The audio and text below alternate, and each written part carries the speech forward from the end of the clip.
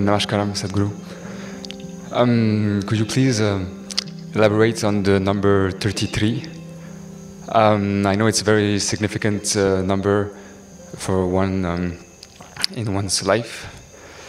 And uh, next month, next Purnima, I'm going to turn 33. And uh, I know I know there's like some special sadhana that is being given uh, in the center for people who are below 33. So I want to know, like, if I pass this uh, mark, uh, what's the significance in uh, my uh, spiritual path? Oh, we have sadhana for old people also. nice to hear. Thank you.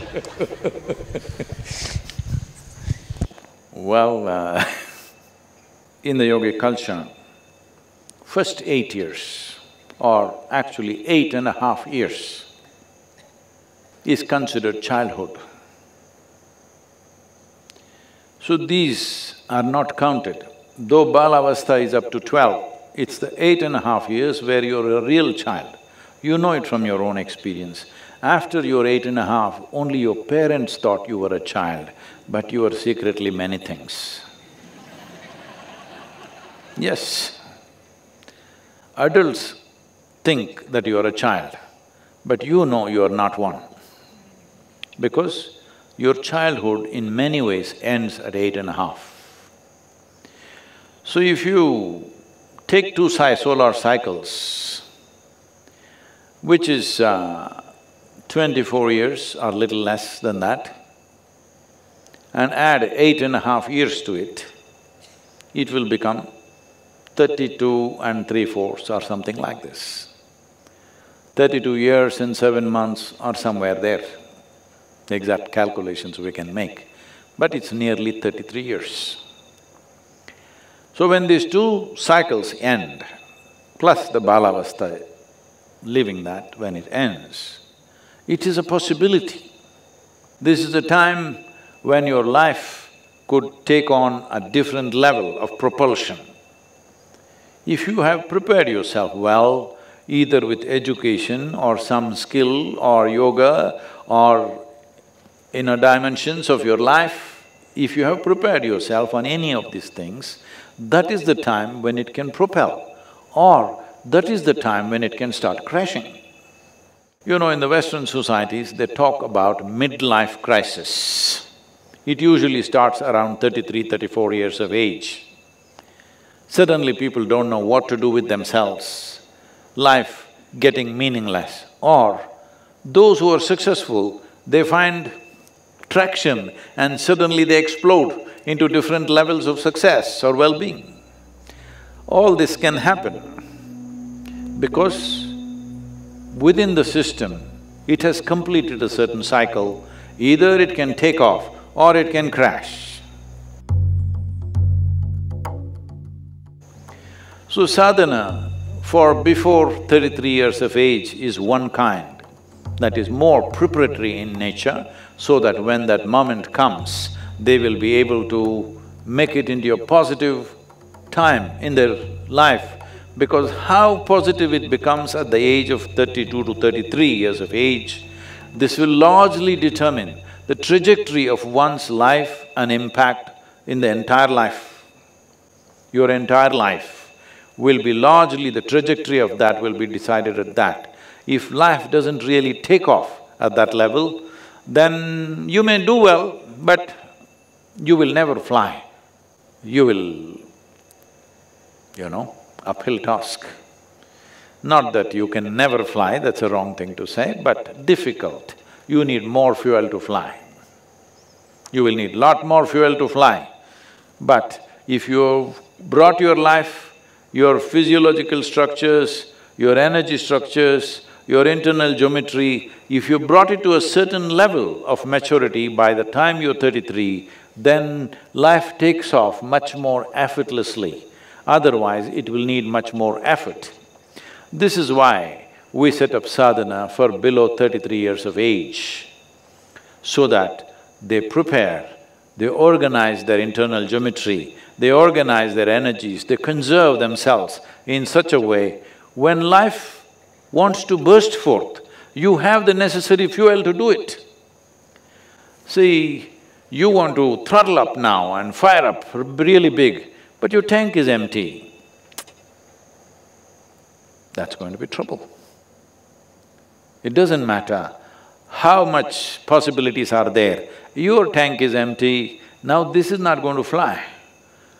Everything else may be great, you may have education, you may have knowledge, but still you won't fly easily because of this.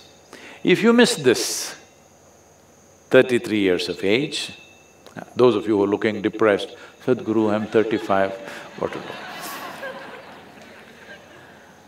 Well, if you're uh, a male person, forty-two is another time when there is another upsurge, not at the same level as thirty-three, but definitely a substantial upsurge where one can again burst forth.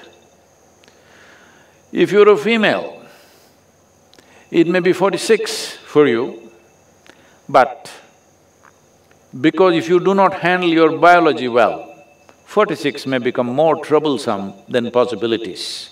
But there are many possibilities. When a woman reaches forty-six years of age, she can break through her limitations of whatever the feminine nature held her down with certain aspects of life, all that she can break through in a big way because her energies are transforming naturally. I'm talking about natural support, I'm not talking about what individual people may do. Individual people may defy all this and go on, that's different. But naturally, this is the way it is moving. So if you miss both these, when you hit sixty, say there's hope, huh?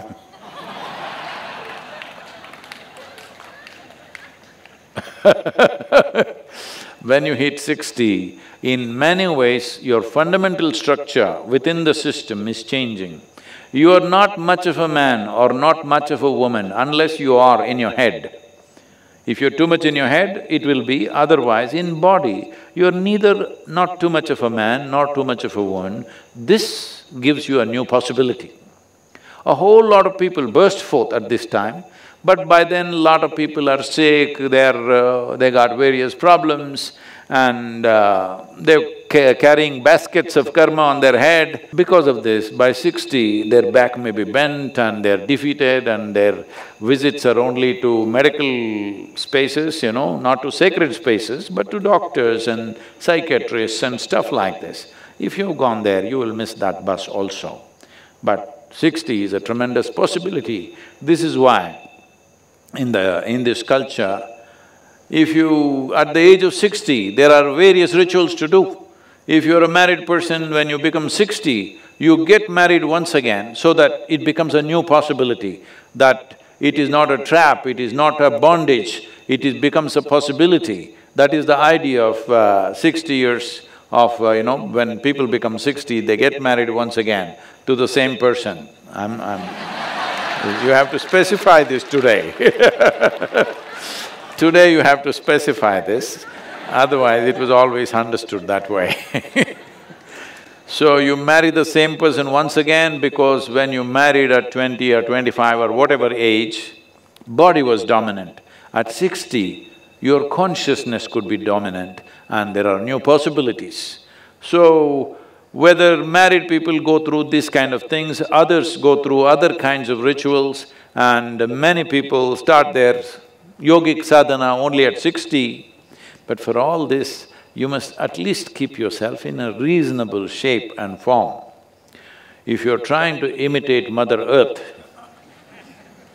or you, you become sick in various ways, then that possibility will not be available. So if you're below thirty-three, best to hit the thirty-three. Before thirty-three, you have energized yourself you organized your geometry in such a way that you are never the impediment in your life. You are not the issue. This one thing you must do. There are thousand issues in the world, but you are not the issue. This much you do, then you don't worry about these times. You are thirty-three, thirty-four, thirty-five, you can fire up any time. I'm sorry, should I say all the numbers? No, you can fire up any time. But in terms of preparation, up to thirty-three, thirty-two years and seven months, to be reasonably precise. If you done enough preparation in reorganizing your geometry, your energetic processes, your thoughts, your emotions, if you settle these things, then life will open up like a burst. So, we are trying to do this with our Samskriti children. Everybody is wondering what will they do, what will they do, where will they get a job, they… how will they go to McKinsey, how will they go somewhere else? They will not go to those places, but uh, they will go to better places because the way they're organizing their energies, the way they're organizing their geometry, if… Uh, because we have to release them by the time they're eighteen, twenty, they've completed this, if uh, as soon as they go home, if the parents don't mess them up, I hope they won't do it because they had the wisdom and the courage to put their children in Samskriti, but uh, they become overly concerned. Now you're twenty and you don't have a certificate, what will you do?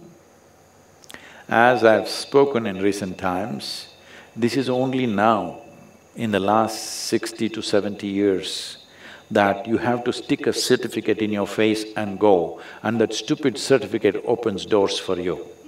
Otherwise, never in the history of humanity, a certificate opened a door. It is only you, your competence, which opened the door. Once again, world is moving that way. A whole lot of business enterprises are no more asking for your qualification, they're just asking what can you do or what have you done till now. And that is where it will go. If you invest enough time in organizing your system till you're thirty-three years of age, well, when that moment comes, possibilities open up naturally and many things are possible. You should not also exhaust yourself too early, this is important. Right now, uh, especially in United States, uh, people come and tell me, my boy is eleven years old, he's already the CEO of this company. I said, why? You already thrown your child in the marketplace. Unfortunately, as you become adults somewhere, at least you have to keep one hand in the marketplace because the whole world has become economics. But you threw a eleven-year-old child, that means at eleven if he became CEO, probably he started at six. Ah, a six-year-old child, you threw him into the marketplace, this is the worst thing you can do. You do all this nonsense. Please leave your children out for some time, let them grow, their body, their brain, their sense of perception and their geometry. You must understand, this is very important. In the physical world, if something significant has to happen, the geometric equanimity and the geometric smoothness of existence is needed. If that is not there, well, you can do many things, but all that you will do is friction and suffering. If there is no geometric equanimity, if you look at any mechanical object, any machine, you will see if there is no geometric equanimity, all that will happen is friction. You must understand physical world, whether it is the galaxy or the solar system or this body, these are all mechanical functions. It all depends on geometry. How smooth the geometry is, that is how smoothly it will function. Otherwise, it will become frictious. When it's frictious, the faster you go, the more you will suffer. This is happening. Successful people on the planet who are trying to be on the fast lane of life are suffering lot more than those who have failed in their lives. Though if you fail in your life, oh well, you can walk on the beach and enjoy yourself because you have the time. This is a beautiful thing about failure, you have time.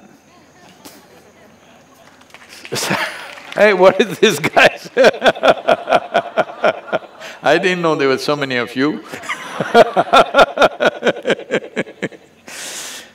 Success, the problem with success is, when you're successful, there's no time for anything. So you have to become super alert if you want to still imbibe life and know the taste of life every moment of your life. Otherwise, you will become a, a zombie walking around with something buzzing in your head which is not life.